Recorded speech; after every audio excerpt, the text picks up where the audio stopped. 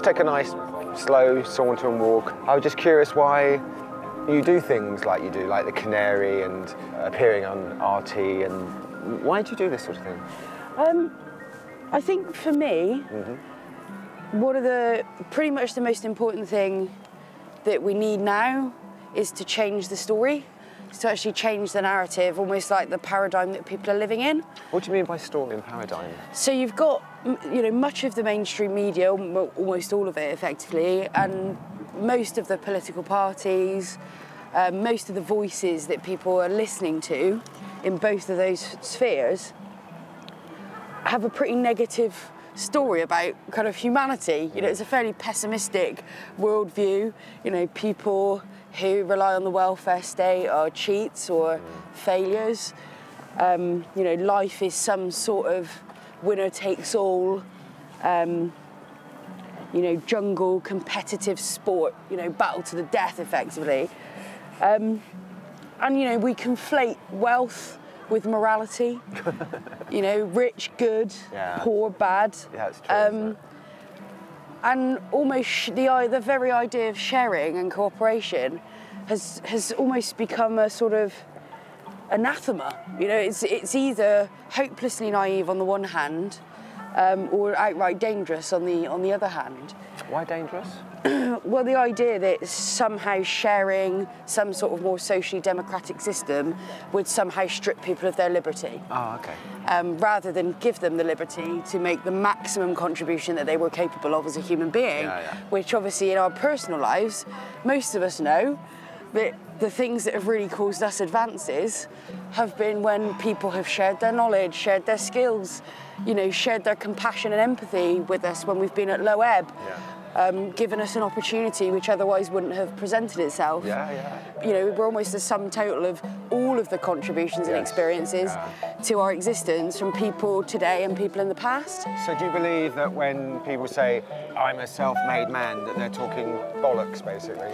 Yeah, I think it's like a willful ignorance because, and it and, it- and it doesn't take away from, you know, yes, you, you know, go for self-reliance. Always look to yourself first in terms of, you know, what can I do to, you know, improve my circumstances or help in some way with an issue that I care passionately about. Um, or create the kind of life that inspires me and I want to live. That's great to hold that view. Yeah. But I think to hold that view as if that and all of all that you've benefited from all of the inputs of people present and past, um, to ignore that reality, I think is willful ignorance and, Yeah. and extreme arrogance, frankly. You know, to, to say, you know, I did this on my own in a world which has been built before you arrived is a bit rich. Uh, you know.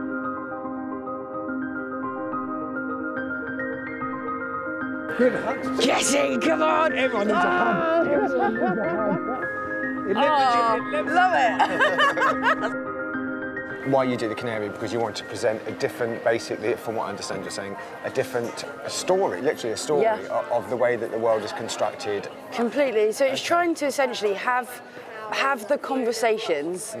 that are currently excluded from the mainstream space. Right. You know, conversations about, you know, how money works. You know, a lot of people don't know how money works. Conversation about how the banking system works, how politics works, why some of these decisions happen, and the context in which they happen. Right. So that you know, part part of the problem I think in in the mainstream so much is that you just get this snippet of mm. a thing happened. Mm. These people are on welfare, or this many immigrants came to the country this mm. year, or whatever. But there's no framing of that argument that, that helps people fully understand kind of the issues behind the issues. Yeah. Um, and that's what we really want to do, so that one we can kind of come to a better consensus about what the root causes of the problems are, then the kind of solutions that come from the alternative and progressive space versus the mainstream kind of neoliberal space Right. actually then make sense. You know, you've, you've now got people to understand that the problem isn't what they've been told the problem is, it's actually something else. Mm. So now your solution makes sense because it deals with the problem we now agree exists, which they didn't understand existed prior to that conversation. Because I believe, and I think a lot of people recognise, that, that life, emotions are basically seen to be split into two. Yeah. Between love and fear. You Yeah. either act from a place of fear or you act from a place of love. And Yeah. love being um, I, I know where she's operating from.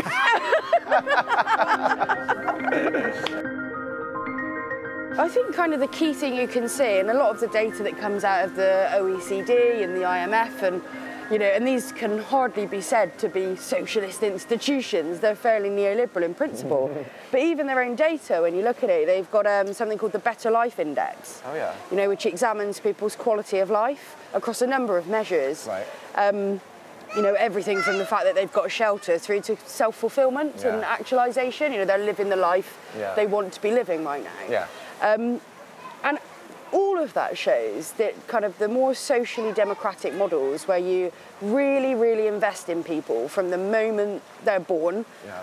to the moment they die. Yeah. You know, from education investment, free at the point, you know, free primary, secondary, and higher and further education, all the way through. Um, so that you're giving people, regardless of the circumstances they start in, Mm. the absolute best possible chance that they're going to be able Mm. That to live the life that they exactly to society completely. in a healthier. So it's that, it's that phrase from, from the Christian Bible, isn't it? You you give a man a fish, he eats for a day. Teach a man to fish, he can eat, you know, eat for the rest of his life. That's kind of what you're saying. and isn't I find it so strange that sort of some people on the right tend to use that um, phrase as if what it means is that welfare is bad, as if the welfare state is bad, as if that's giving the man the fish. Right. But the welfare state exists to build the school in which that man would learn how to fish. So, so you know, it's, it, it's how you, you end up in these weird conversations where you're thinking, how on earth did you take that from that life lesson?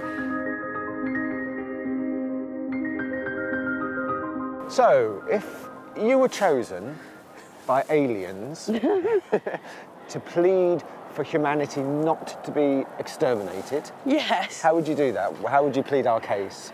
Oh my goodness. How would I plead our case? I think I would kind of show them. It almost you'd want like a video reel of our best moments, like a highlights reel or something.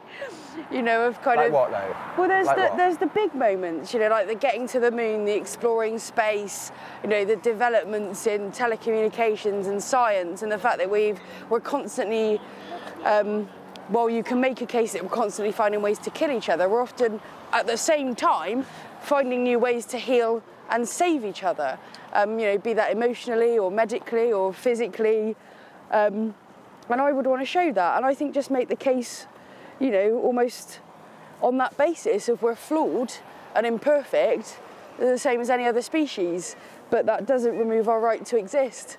If you look at the last decade for gay rights, you know, not only in this country, but across actually a pretty large chunk of the world, with some very heinous and notable exceptions, you know, we do seem to actually be, be getting better at actually accepting people live their lives in different ways and, Yeah. you know, actually how much of each other's business are those issues about, you know, who we choose to have sex with as consenting adults, who we choose to spend our life with, and the nature with which we conduct our romantic relationships. You know, the fact that women, you know, after campaigning for a very long time, still don't have equality, but we're moving in that direction.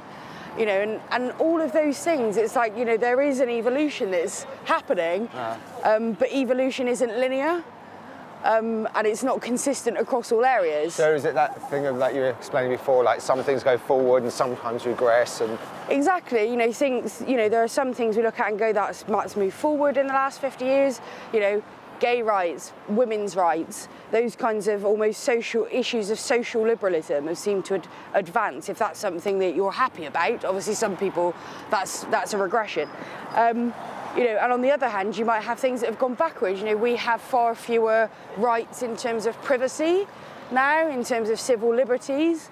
Um, in terms of human rights, you know, there has actually been a, a, a, a quite significant regression Yes, yes. Um, in the past sort of 30 years. That's accelerated in about the last sort of 15. years, yeah, um, You know, that post 9/11, you know, Yeah. world, for, for want of a better phrase. So again, how can you convince an alien not to exterminate us with, with appalling rights for women and for, and for men as well? And I think that's the nub of it, because the moment you extinguished us, you would never realise that hope. the very fact that we aspire to that equality, the very fact that we have those dreams and ambitions and hopes for ourselves as individuals and as a species is absolutely the reason for existence.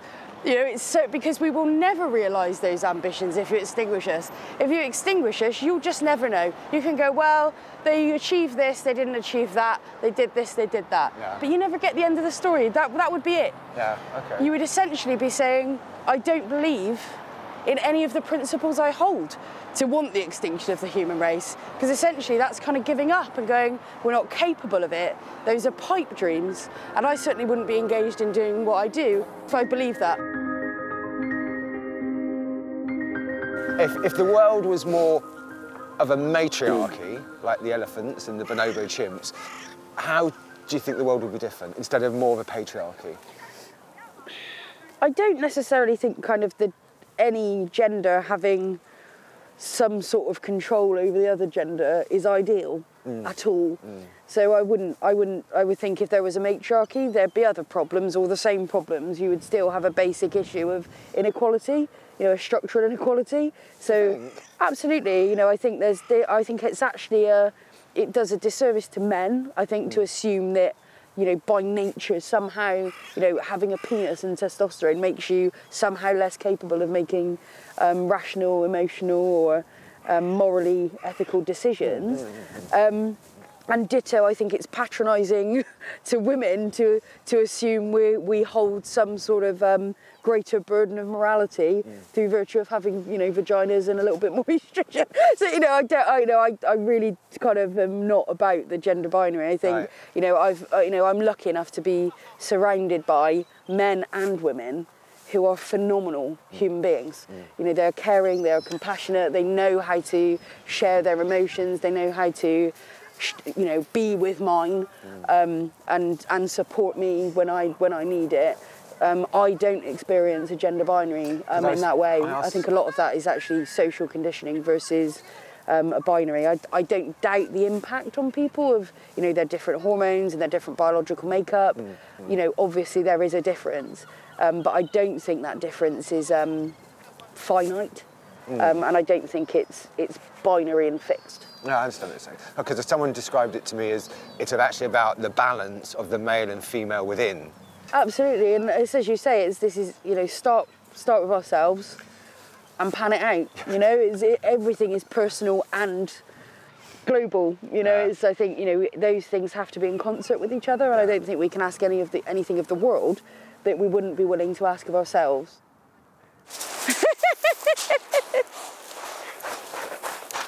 So I just wanted to ask, while you were talking about the canary and it becoming more and more popular and more and more people becoming aware of it and subscribing to it, and you've got more people hitting today than live in Iceland. uh, have you encountered any um, opposition, or have, have they, you know, has the opposition tried to take you out, you know, in the same way of, of the way that they kind of uh, spread the propaganda about, you know, loony left wingers? Oh my God! Absolutely.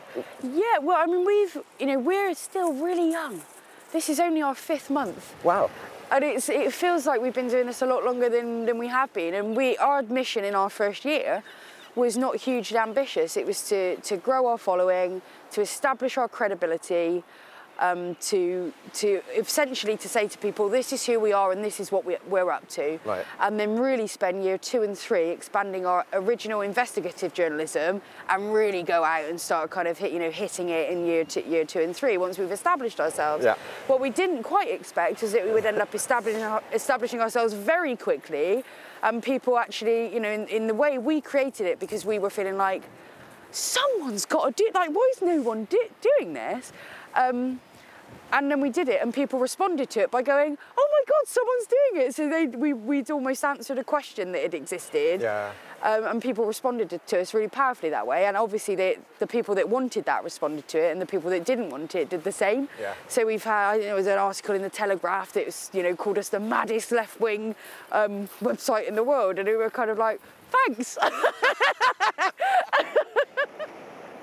But that's also an interesting thing about you, Kerry, that you kind of can see people who might be in opposition to your ideals and principles and beliefs, and you still seem to treat them with an open heart and love in your soul.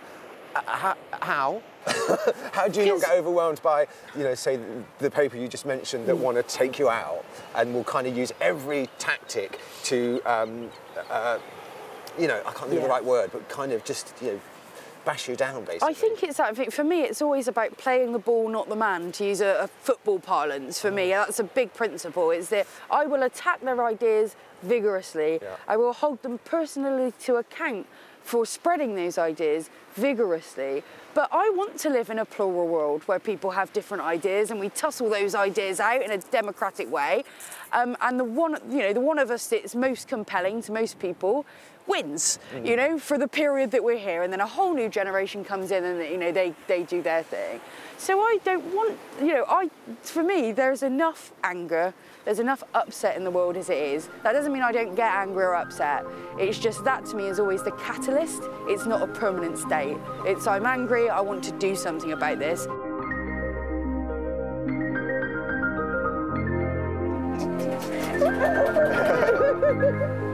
Well, too then. so I've got just five or six questions, quick fire questions. Um, what the world needs now is more. Love. The world would be happier if, We have more love. in 10 years' time, I hope to be. Oh. I literally cannot even respond. I don't think that far ahead. Okay. Uh, if I was to share one beauty tip, what would it be? Spiky hair rocks. Um, your favourite singer is Alanis Morissette. uh, Meryl Streep or. Um, oh, God, I can't think of her other name. Meryl Streep.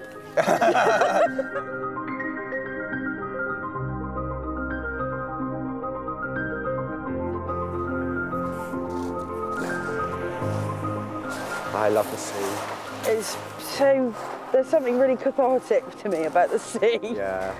Saying to someone the other day, it's kind of you look at it for just stand there and look out for 10 minutes. Yeah. It's about the equivalent of a day off. Yeah, it is. It is.